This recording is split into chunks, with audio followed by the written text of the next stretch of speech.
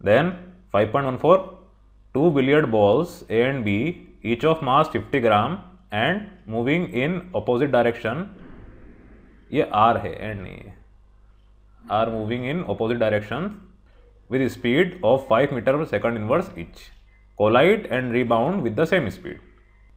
If the collision lasts for 10 to the power minus 3 seconds, which of the following statements are true? ठीक है इसको हम देख लेते हैं इजी क्वेश्चन ही है, दो ball five metre per second inverse की स्पीड से मूव करी, आपस में टकराई और वापस से इसी स्पीड से उल्टे डायरेक्शन में गई। जब टकराई तो कोलिजन का जो समय था वो है ten to the power minus three देख लीजिए आप। Change in speed accompanied by this small time both having mass 50 ग्राम मतलब ये क्या है? Change in momentum change in momentum is your impulse options पढ़े बगैर ही आपने समझ लिया। कि इसमें ये आपसे इम्पल्स के बारे में पूछ रहे हैं। वेरी वेरी इजी तो पहली चीज़, आपके मास m1 m2 ये दोनों कितने हैं?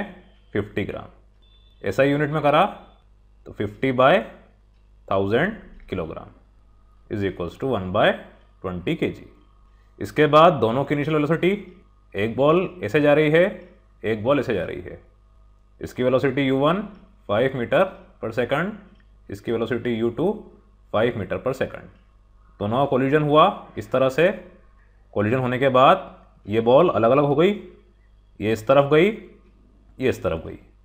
अब आप देखिए, अगर मैं पहली बॉल का ये वाला डायरेक्शन पॉजिटिव लेता हूँ तो ऑब्वियसली ये वाला नेगेटिव होगा।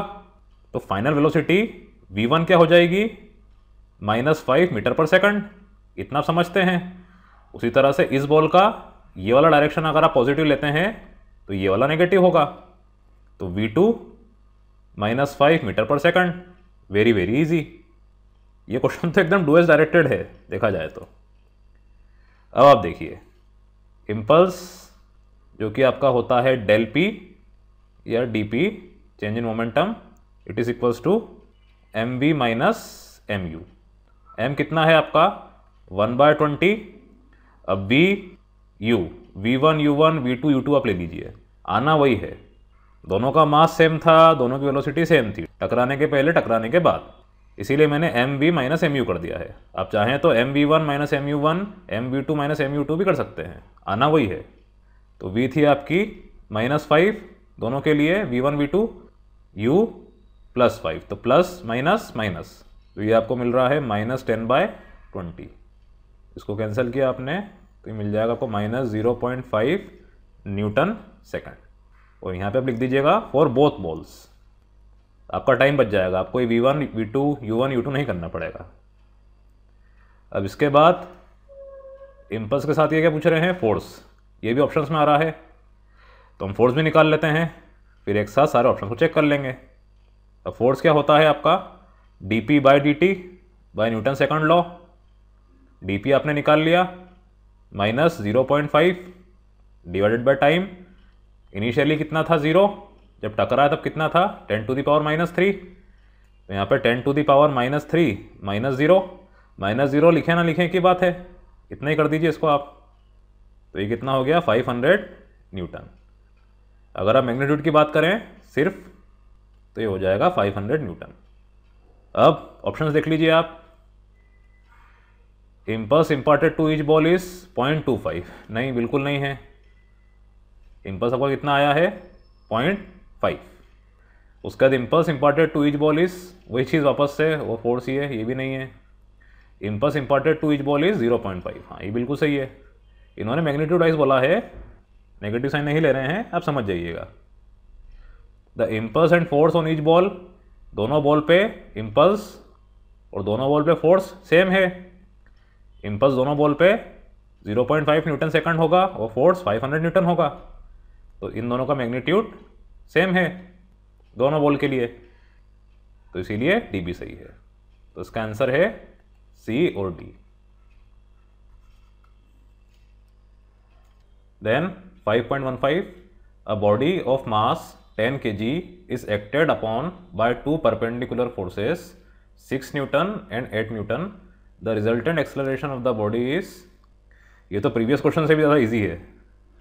आपको उन्होंने बोली रखा है टू परपेंडिकुलर फोर्सेस तो इसका जो रिजल्टेंट होगा रिजल्टेंट वेक्टर वही आपका रिजल्टेंट फोर्स होगा।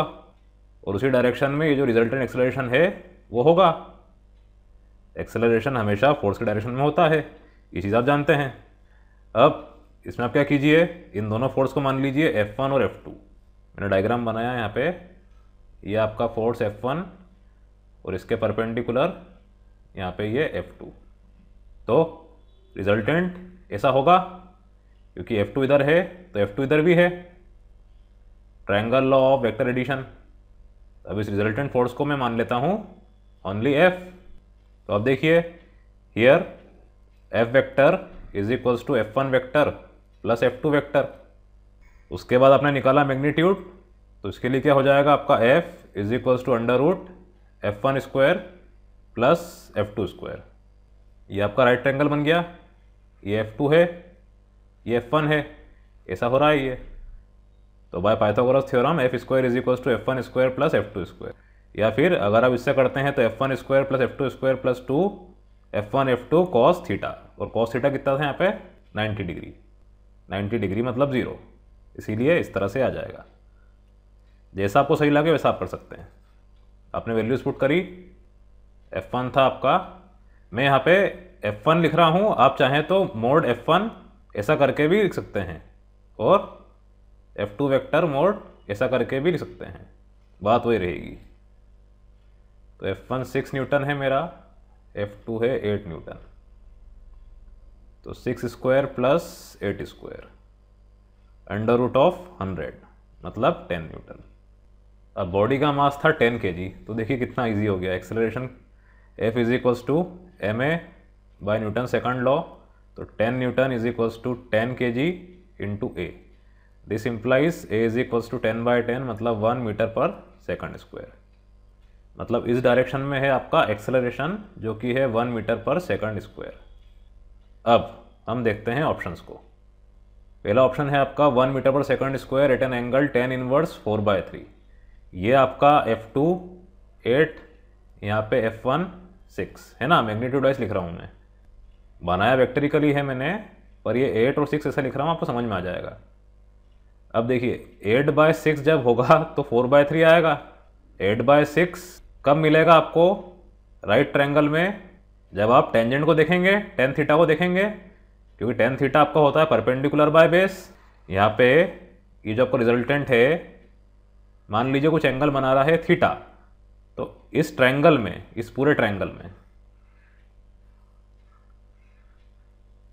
अगर आप देखते हैं, क्योंकि 90 डिग्री इधर है तो tan theta is equals to eight by six हो रहा है मतलब फोर बाय थ्री तो theta is equals to tan inverse four by three तो ये बिल्कुल सही है one metre per second square at an angle of tan inverse four by three with respect to six newton force यहाँ पे आपका six newton force जो है, ये हॉरिजॉन्टल फोर्स है तो इसके रिस्पेक्ट में tan inverse four by three आ रहा है। इसीलिए ए ऑप्शन आपका बिल्कुल सही है। Zero point two metre per second square ये तो है ही नहीं। बी और डी तो आप कैसे हट गए? अब सी आप देखिए one metre per second square at an angle of tan inverse three by four with respect to eight newton force अब एट न्यूटन फोर्स आपका क्या है? वर्टिकल फोर्स कुछ मत कीजिए, इस ट्रैंगल को घुमा दीजिए आप। मान लीजिए यहाँ से यहाँ तक का एंगल जो है, ये है आपका फाइ अब देखिए, इसका अगर मैं डायग्राम बनाता हूँ, ये आपका फाइ इधर आपका एफ़ वन या एफ़ वन ना लिखिए आप सिक्स लिख दीजिए, और इधर आपका एट तो टेन फाइव क्या होगा आपका? सिक्स बाय एट तो phi is equals to tan inverse of three by four अब थ्री बाय फोर के लिए अब देखिए बेस क्या है आपका? एट ये बेस है आपका। क्योंकि फाइव जो है, इसके हिसाब से देखा जाएगा बेस के हिसाब से। तो tan inverse of three by four with respect to eight newton force तो सी तो ए और सी ये दोनों सही हैं।